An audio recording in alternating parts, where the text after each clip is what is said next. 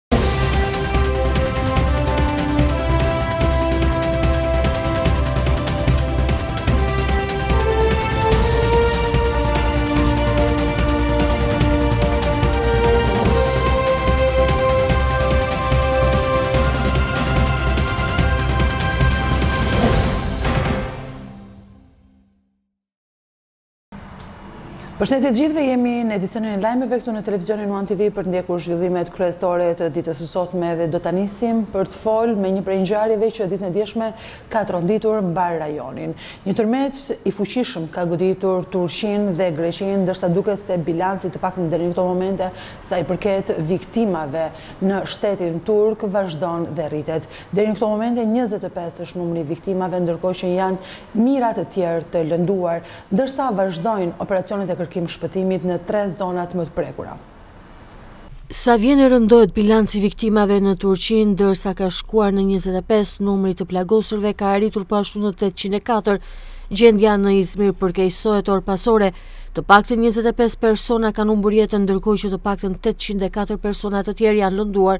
E ndërkohë, vazhdojnë misionet e kërkim-shpëtimit në tre zonat më të prekura, në Bornova, Bajrakli dhe Karsiaka. Në një konferencë për median Ministri i Mjedisit dhe Planifikimit Urban Murat Kurum tha se deri më tani janë shpëtuar njëqind qytetarë nga momenti i tërmetit, ndërsa ende vazhdojnë kërkimet për njëzet e një persona të tjerë, të cilët gjenden nën rrënoja. Në anën tjetër bëhet thirrje që në ndërtesat e dëmtuara të mos hyhet pa patur një vlerësim të tyre. Pas tërmetit kanë ndodhur ndërkohë më shumë se tridhjetë e pesë goditje të magnitudës më të lartë se katër ballë dhe gjithsej katërqind e tetëdhjetë e katër tronditje të tjera. Në një njoftim për mediat u njoftua se javën e ardhshme në të gjitha shkollat e Izmirit është ndaluar mësimdhënia ndërsa do të ketë inspektime të gjendjes të të gjitha shkollave. Natën e të premtes qytetarë të frikësuar nga lëkundjet e njëpasnjëshme kanë fjetur në ambiente të hapura, Në të gjitha parqet e qyteteve janë ngritur çadra dhe familjet kanë kaluar natën aty. Ekipet e shpëtimit janë të përqendruara tani më në tetë ndërtesa dhe gjashtë mijë persona nga emergjencat civile apo edhe efektivë të policisë, si dhe mbi njëzet qen të stërvitur për kërkime. Autoritetet vijojnë ende operacionet e kërkim-shpëtimit. Nga shtatëmbëdhjetë banesa të shembura, deri më tani ka përfunduar puna në tetë prej tyre, nga gërmadhat e të cilave janë nxjerrë trupat e pajetë. Lëkundjet e tërmetit u ndjenë po ashtu deri në Greqi, ku në ishullin e Samos janë shkaktuar edhe dy viktima, një pesëmbëdhjetë dhe një shtatëmbëdhjetë vjeçar. Shteti është mobilizuar i gjithi teksa në zonën e tërmetit janë vendosur tre mijë e gjashtëqind e gjashtë çadra, dhjetë mijë e pesëqind e gjashtëdhjetë shtretër si dhe pesë kuzhina të lëvizshme. Tërmeti i rëndë goditi mesditën e tridhjetë tetorit Turqinë dhe Greqinë. Në Turqi lëkundjet janë ndjerë në Stamboll, Izmir, Çanakale, Dinizli dhe Bursa. Qendra e tërmetit që u ndje në shumë provinca u njoftua si Izmir Karabaglar, ndërsa sipas Qendrës Europiane të Sizmiologjisë, u njoftua intensiteti i tërmetit se ishte gjashtë pikë gjashtë ballë. Sipas mediave turke tërmeti u shoqërua me katërqind e dhjetë pasgoditje, ku tridhjetë e tre prej tyre ishin me magnitudë mbi katër ballë të shkallës Richter. Izmiri është një vend sizmik, vend i goditur herë pas here nga tërmetet me efekt shkatërrues. Një nga tërmetet më të vjetër në Izmir është ai i një mijë e gjashtëqind e tetëdhjetë e tetës të paktën me shtatë ballë, i cili shkaktoi dëme të mëdha në qytet. Izmiri pothuajse gjatë asaj kohe u shkatërrua totalisht dhe të paktën u shënuan gjashtëmbëdhjetë mijë viktima. Tërmeti tjetër më katër prill të vitit një mijë e shtatëqind e tridhjetë e nëntë shkaktoi dëme të mëdha me një forcë prej gjashtë pikë tetë ballë, ndërsa tetëdhjetë persona vdiqën. Edhe pse atë vit pasgoditjet nuk pushuan deri në shtator, qytetarët e Izmirit kaluan shumë muaj në ambiente të hapura. Izmiri është tronditur vazhdimisht nga tërmete të rënda vit pas viti, më njëzet e dy shtator të një mijë e nëntëqind e tridhjetë e nëntës, Ishte ai i radhës në Dikili, ku humbën jetën të paktën gjashtëdhjetë persona dhe një mijë shtëpi u shkatërruan. Më pas, në dymbëdhjetë qershor të dy mijë e shtatëmbëdhjetës, u regjistrua një tjetër goditje prej gjashtë pikë dy ballë të shkallës Richter, por ai nuk shënoi viktima. Orët e para të mëngjesit forcat e kërkim-shpëtimit kanë arritur të nxjerrin nga gërmadhat edhe një të moshuar, Pas tërmetit të fuqishëm që goditi Izmirin, deri në mesditën e të shtunës numëroheshin njëzet e një persona të zhdukur si dhe njëqind të tjerë të shpëtuar nga rrënojat. Njëzet e pesë persona kanë humbur jetën deri tani në Izmir dhe të paktën tetëqind e katër persona të tjerë janë të lënduar. Autoritetet vendase bëjnë me dije se deri më tani janë shpëtuar njëqind persona, ndërsa shumë prej tyre po marrin trajtim në spital, ku disa janë në gjendje të rëndë shëndetësore. Një pjesë e të plagosurve janë nënshtruar ndërhyrjeve kirurgjikale, ndërkohë që shumë të tjerë kanë dalë nga spitali pasi kanë përfunduar trajtimin mjekësor. Rikthehemi me informacionet nga qyteti i Vlorës, zyra e marrëdhënieve për klientin dhe arkat e pagesës të ujit të pijshëm tashmë do të kenë një tjetër ambient të ri. Për klientët, zyra e re është përuruar paraditen e kësaj të shtune, ndërsa i pranishëm ka qenë gjithashtu edhe nënkryetari i Bashkisë së Vlorës, Afrim Qendro. Qendro në fjalën e tij ka qenë i ashpër ndaj debitorëve, jo vetëm qytetarë, por edhe bizneseve. Zyra e marrëdhënieve me klientin dhe arkat e pagesës së ujit të pijshëm tashmë në një tjetër mjedis, i cili ofron hapësira të përshtatshme për klientët e ujësjellësit. Zyra e re është përuruar paraditen e kësaj të shtune, ndërsa i pranishëm dhe nënkryetari i Bashkisë së Vlorës, Afrim Qendro. Kreu i Ujësjellës Kanalizimeve të Vlorës, Shkëlqim Leskaj, duke uruar stafin për ambientet e reja, sensibilizoi kujdesin e qytetarëve konsumatorë ndaj pagesës së ujit të konsumuar. Sot ne jemi mbledhur për të promovuar zyrën e re. Promovimi i kësaj zyre është direkt për shërbim ndaj qytetarëve. Në këtë rast ne kemi kemi pas një zyrë me gjysmën e kësaj sipërfaqe, me një pozicion jo të favorshëm për të shërbyer qytetarëve. Këtu ne kemi përveç sipërfaqes së madhe që është krijuar një ambient i përshtatshëm për të shërbyer qytetarëve, kemi shtuar personelin e shërbimit ndaj qytetarëve dhe njëkohësisht kemi shtuar dhe personelin e arkëtimit të qytetarëve. U bëj thirrje qytetarëve që nëpërmjet juve dhe ata Ne do t'u shërbejmë gjithmonë, do jemi në gatishmëri për shërbimin ndaj tyre duke plotësuar të gjitha ankesat dhe kërkesat e tyre, por dhe ata të kenë në plan të parë pagesat e detyrimeve ndaj ndërmarrjes tonë. Ky investim që është bërë këtu te kjo te kjo zyrë është bashkëpunim me me bizneset e Vlorës, është një vlerë e investimit është rreth pesë milionë lekë të vjetra. Ne në vazhdimësi do vazhdojmë që të krijojmë zyra të reja, për të shërbyer dhe për të qëndruar sa më afër qytetarëve. Kjo, ky është prioriteti jonë si ndërmarrje për të arritur objektivat që kemi në në vazhdimësi. Në fjalën e tij numri dy i bashkisë Afrim Qëndro, ka qenë i ashpër ndaj debitorëve, jo vetëm qytetarë, por dhe biznese, të cilët sipas tij kanë bërë që qyteti të ulë ndjeshëm arkëtimet, por dhe lidhjet e paligjshme duke konfirmuar masa drastike në gjoba, deri në ndërprerjen e ujit në banesa dhe biznese. Ndërmarrja, krahas thirrjeve që bën, krahas punës që do bëjë, do fillojë dhe me prerjen e ndërhyrjeve të paligjshme në gjithë qytetin e Vlorës, kështu që të bëhemi gjithë bashkë, i kërkoj ndihmë dhe medias në këtë rast, që ne të kthehemi në një qytet i cili të jetë jo në këto nivele, në qoftë se Vlora duhet të kthehet në një qytet turistik të mirëfilltë me rëndësinë që ka në turizmin shqiptar, ne duhet të sigurojmë ujë në qytet dhe uji nuk sigurohet vetëm nga ndërmarrja, po sigurohet nga bashkëpunimi dhe nga fryma e mirë që ekziston midis ndërmarrjes dhe qytetarëve. Kjo është një ndërmarrje SHA e cila funksionon me të ardhurat e veta. Pa një bashkëpunim dhe pa një frymë të tillë midis qytetarëve, bizneseve, kjo ndërmarrje nuk shërben.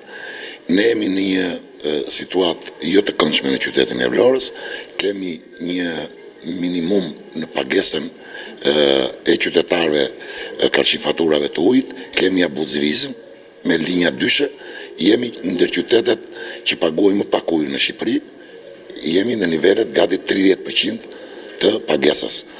Ky është një model që në qoftë se ne bashkëpunojmë me bizneset, ata janë pjesë e këtij qyteti, e duan këtë qytet dhe ne së bashku mund ta bëjmë këtë punë. Drejtori e nënvizoi në qoftë se ne nuk sigurojmë që qytetarët të bëjnë pagesën e ujit, atëherë ndërmarrja do jetë jorentabël dhe uji do jetë të vazhdojë do jetë problem në këtë qytet. Kështu që unë e përsëris thirrjen ndaj bizneseve në radhë të parë, qytetarëve në radhë dytë dhe gjithë atyre që marrin shërbimin nga ndërmarrja ta mirëkuptojnë dhe të pag, bëjnë pagesën e faturave. Kemi biznese në Vlorë të cilat paguajnë si banesa. Kemi biznese në Vlorë të cilët kanë shumë e shumë vite që nuk paguajnë fare. Nënkryetari i Bashkisë Qëndro u shpreh se janë gati disa projekte të ujësjellësit në zonat më problematike për furnizimin me ujë të popullatës. Ne kemi bërë një projekt i cili është i ndarë në disa lote. Kemi lagjen Karabash, Partizani, Fabrikën e Çimentos, Babicë e Vogël dhe pesëmbëdhjetë fshatra në Novoselë. Janë projekte të miratuara, të plotësuara me të gjitha detajet dhe Bashkia e Vlorës i ka nisur pranë Drejtorisë së Ujësjellësit në Tiranë, Drejtorisë së Përgjithshme të Ujësjellësit dhe ne jemi besim plot që do marrim investime nga qeveria për këto zona. Nuk jam në gjendje sot të them se cilat nga këto, por ne kemi kaluar fazën e parë, kemi dorëzuar projekte të mirëfillta, të sakta për gjitha këto zona që thash dhe sidomos objektivi jonë janë zonat e qytetit që përmenda, të cilat janë shumë problematike prej shumë vitesh.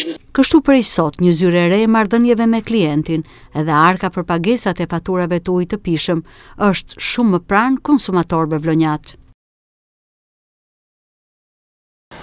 Jemi në edicionin e lajmeve këtu në televizionin One TV, vazhdojmë tashmë me tjera informacione. Nëntëmujori i parë i këtij viti për punën e doganës mes vështirësive që ka krijuar pandemia, ndërsa fillimviti ka shënuar dhe realizimin e planit doganor mbi njëqind për qind. Muajt që kanë pasuar kanë reflektuar mosarritje dhe problematika në krijimin e të ardhurave. Sipas kreut të doganës së Vlorës, Kosta Vjero, hidrokarburet kanë njohur një ulje drastike të të ardhurave, ndërsa kanë reflektuar rritje zërat e artikujve ushqimorë dhe elektroshtëpiakë.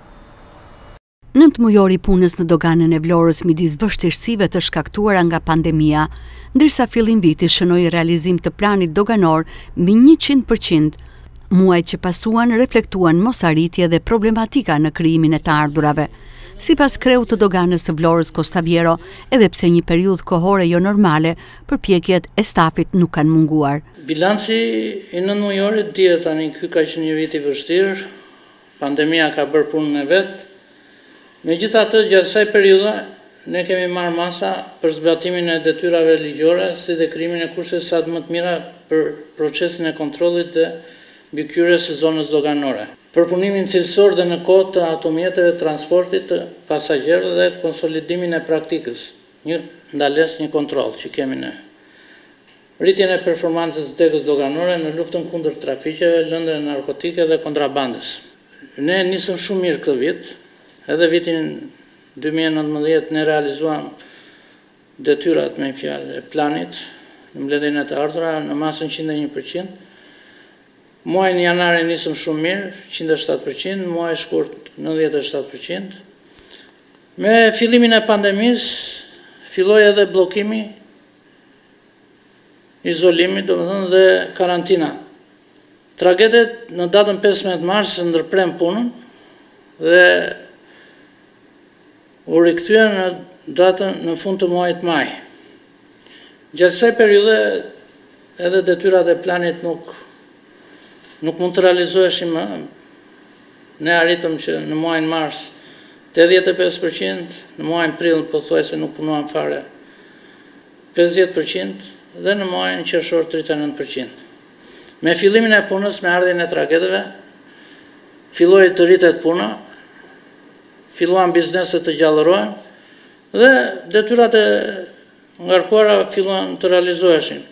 Për shembull, muaji korrik u realizua në masën nëntëdhjetë e tetë për qind, muaji gusht qind e shtatë dhe muaji shtator nëntëdhjetë e gjashtë për qind. Në degën e katërt doganore të Republikës, hidrokarburet kanë njohur ulje drastike të të ardhurave, ndërsa kanë reflektuar rritje zërat e artikujve ushqimorë dhe elektroshtëpiakë. Zërat që më tepër rritën të ardhurat janë kryesisht artikujt ushqimorë, Artikujt elektroshtëpiakë, disa kompani që punojnë në Vlorë nuk e kanë ndërprerë punën, edhe gjatë kohës së pandemisë ato kanë ardhur tranzit nga Durrësi kur s'kishte tragete dhe ne kemi punuar. Edhe hidrokarburet kanë ndikuar sepse po këtë vit në krahasim me vitin e kaluar këto kanë qenë më dobët, petrolifera.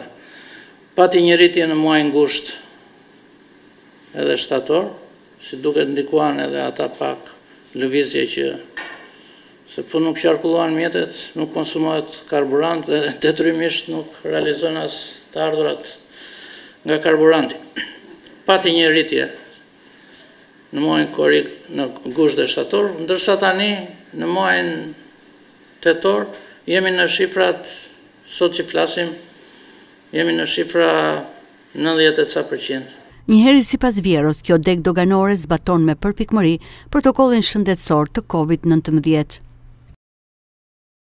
Udhëheqës të Shqipërisë, Maqedonisë dhe Serbisë kanë zhvilluar një takim përmes aplikacionit të Zoom për rifillimin e nismës së bashkëpunimit të thelluar rajonal që u prezantua vitin e kaluar. Liderët kanë theksuar se nisma për thellimin e bashkëpunimit është plotësisht në përputhje me procesin e Berlinit dhe me një bazë të mirë për Samitin e Sofjes, ndërsa në bazë të këtij takimi ata kanë ftuar edhe zyrtarisht Kosovën të bashkohet me nismën. Udhëheqësit e Serbisë, Shqipërisë dhe Maqedonisë së Veriut, presidenti Vuçiç, kryeministrat Edi Rama dhe Zoran Zaev, zhvilluan të premten një takim përmes Zoom-it për rifillimin e nismës për bashkëpunimin e thelluar rajonal që u prezantua vitin e kaluar.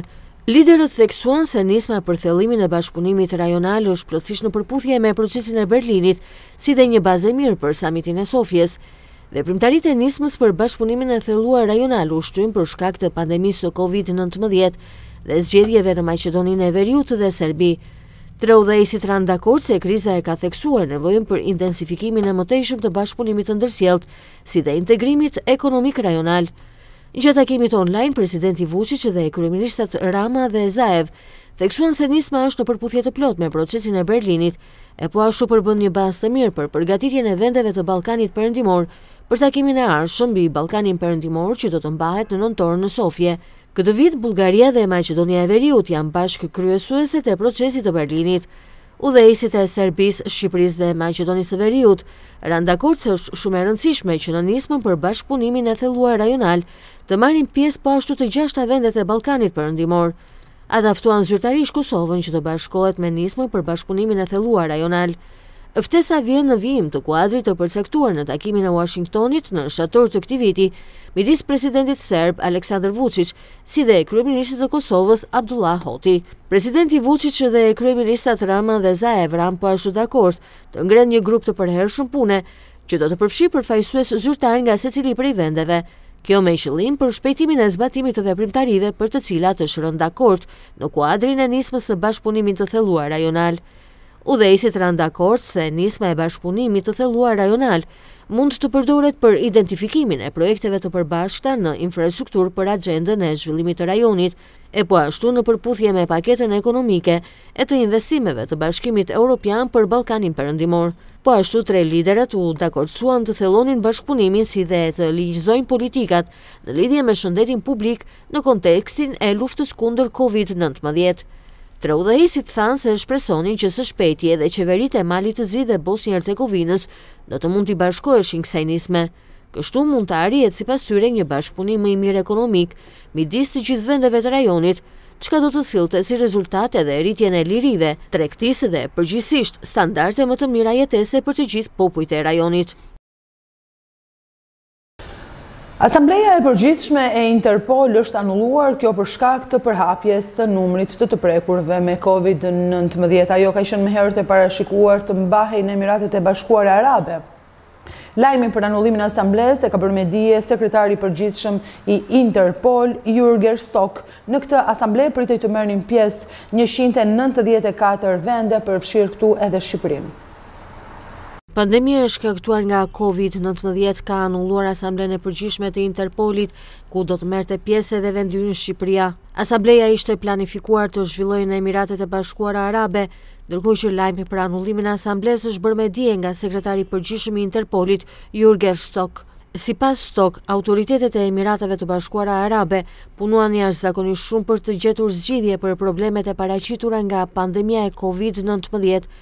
Sidoqoftë, sipas tij, për fat të keq nuk është bërë e mundur që Asambleja e Përgjithshme të shkojë përpara siç ishte planifikuar.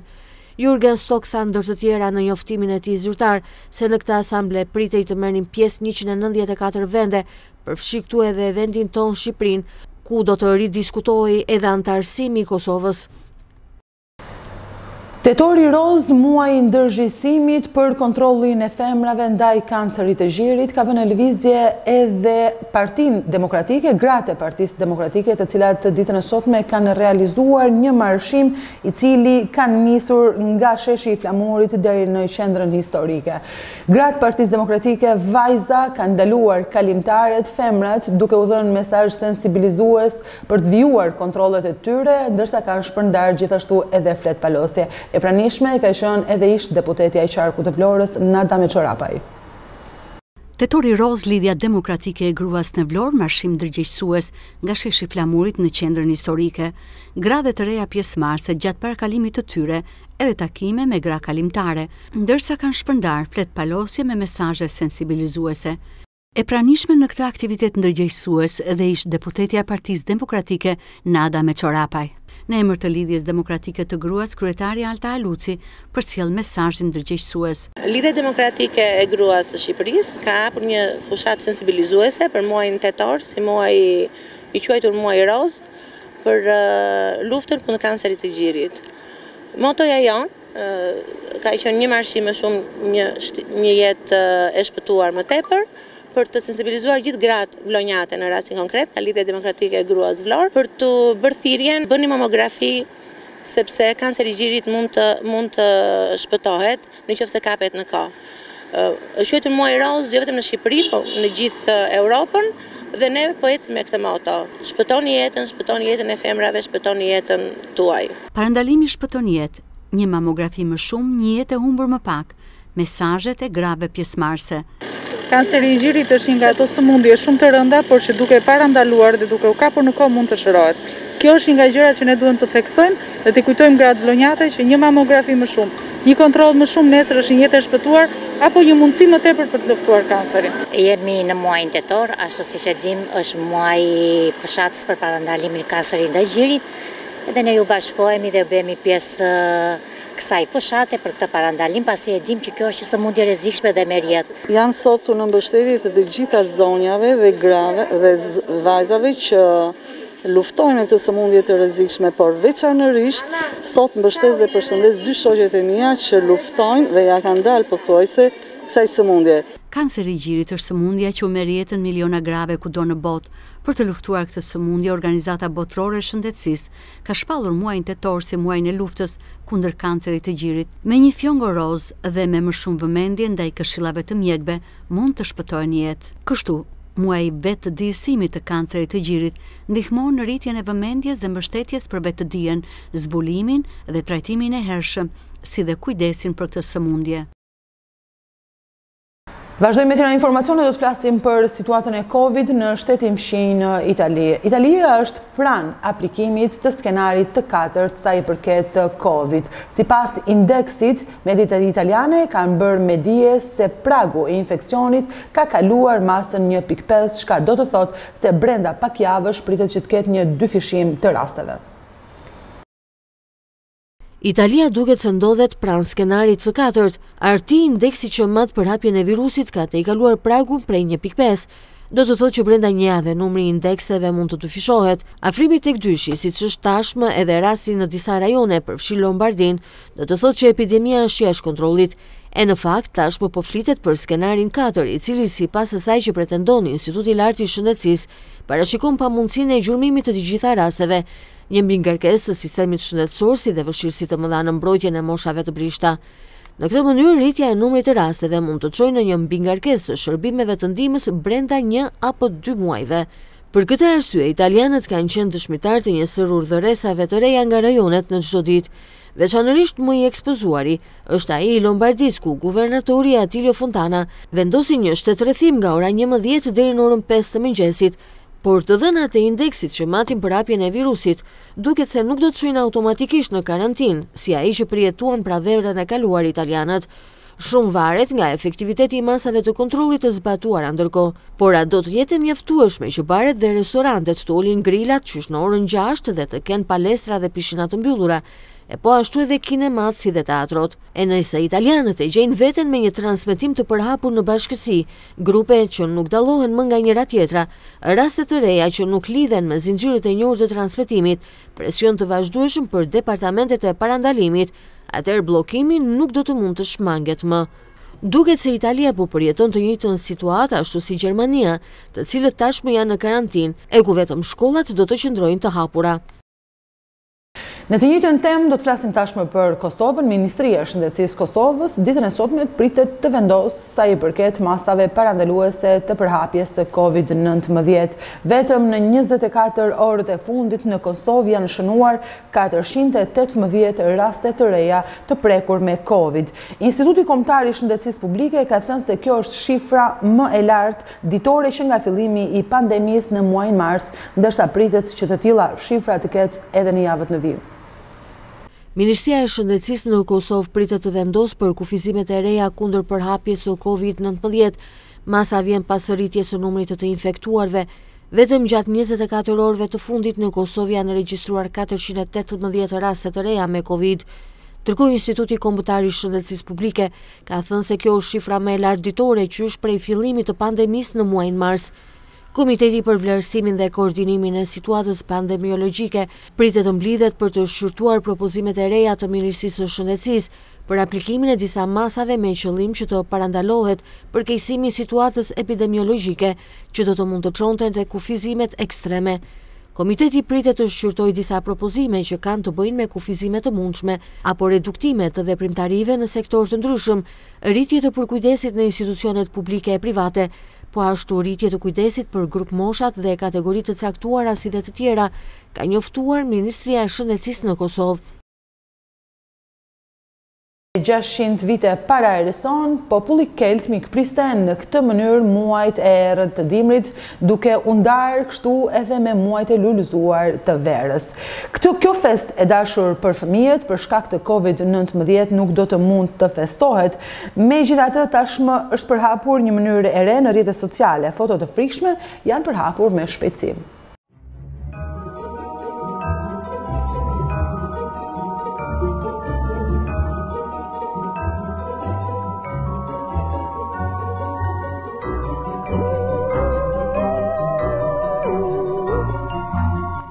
600 vjet para erës së re populli kelt mirëpriste në këtë mënyrë muajt e errët të dimrit, duke u ndarë në të njëjtën kohë nga periudha e lulëzuar e verës. Druidët ishte një lloj besimi, Ia përkushtonin këtë natë zotit të tyre të vdekjes, Mahain. Gojëdhënat thonë se ai mblodhi shpirtrat e të vdekurve të 12 muajve të vitit të shkuar, pasi ata i kishin larë mëkatet e tyre dhe i dërgoi në parajsën e keltëve. It's coming. There's no escape. On Halloween, the veil between this world and the next will lift. And then all hell breaks loose. Një kungull i ndriçuar nga brenda, simboli i Halloweenit, Njerëzit mblidheshin në kodra mbi tokat e tyre dhe duke ndezur zjarre të mëdhenj. Përzinin shpirtrat e këqinj të vitit që shkoi. Më pas, shuanin përkohësisht zjarrin në shtëpitë e tyre dhe pak më vonë e ndiznin përsëri. Kështu emri Halloween i ka rrënjët nga Europa. Kisha ua mori keltëve këtë zakon gjatë përhapjes së krishtërimit. Ishte atë Gjergji i katërt i cili në vitin 837 e ringjalli një nëntorin, duke e quajtur ditën e të gjithë shpirtrave. E ringjalli këtë ditë duke e quajtur ditën e të gjitha shpirtrave. Vetëm në shekullin e 19 Halloweeni arriti të kalojë Atlantikun për në Amerikën Veriore, së bashku me pasardhësit e keltëve, irlandezët të cilët shtegtuan atje për shkak të kushteve të këqija për jetën. Atje ky zakon u përhap shpejt në të gjithë vendin, por gjatë përhapjes pësoi dhe ndryshime të dukshme. Kështu tashmë Halloweeni më tepër përngjan me karnavalet se sa me zakonet e mëhershme. Shenja dalluese e Halloweenit është kungulli, e cila e ka prejardhjen nga Shtetet e Bashkuara të Amerikës, por ama arsyeja e përdorimit të kungullit me vrima, me pamje të jashtme të frikshme dhe njëkohësisht të bukur, rrjedh gjithashtu nga koha e keltëve. Një zuzar me emrin Jack Oland duhet të shkonte në ferr pas vdekjes së tij, por djalli e ktheu mbrapsh duke i dhënë atij një copë qymyri që të digjej ta kishte gjatë gjithë rrugës. Jacku e vendosi qymyrin në një rrepë të madh dhe u nis drejt një udhëtimi të pafundmë, meqë nuk e lejuan të futej në asnjë mbretëri të vdekurish. Për njerëzit ishte më se e qartë që rrepat me qymyrin u shtinte tmerrin para se gjithash shpirtrave të këqinj. Meqenëse amerikanët përdorin kungullin në vend të rrepës, ai mbeti shenjë dalluese e Halloweenëve. Si çdo festë tjetër këtë vit duket se edhe Halloweeni nuk do të festohet masivisht nga fëmijët. Por ajo që vihet re janë në rrjetet sociale, në të cilat prindërit dhe fëmijët kanë nxituar dhe kanë vendosur kunguj në profilet e tyre, por në të njëjtën kohë kanë shkrepur dhe aparatin me fytyra të transformuara me personazhe të frikshme. Ato i shikon pothuajse në të gjitha, ato i shikon sot në këtë ditë pothuajse në të gjitha muret e profileve tyre personale. Dhe kjo tregon se Halloweeni vazhdon.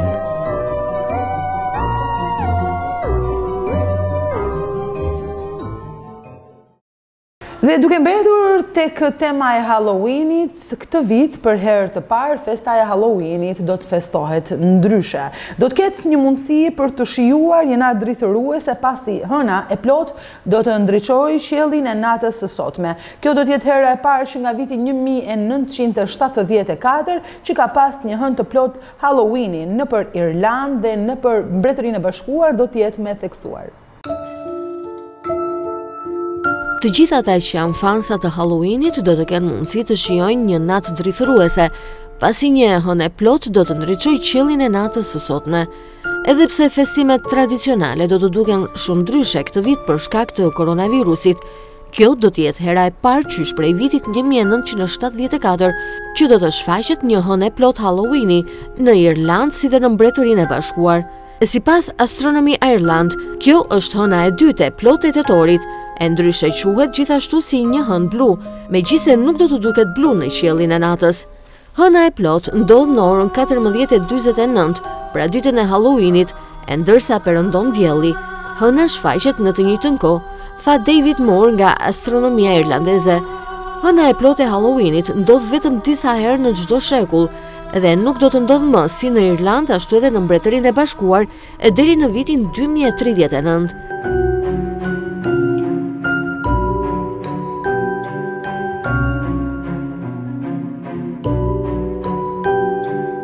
Do të jetë gjithashtu hera e parë që një hënë e plotë e Halloweenit do të jetë e dukshme në të gjithë botën, qysh prej vitit 1924. Sipas astronomikes irlandeze, ky fenomen do të intrigojë të gjithë ata që besojnë se ekziston një lidhje e caktuar midis hënës së plotë dhe shtrigave, e po ashtu dhe shpirtrave që lëvizin natën e Halloweenit.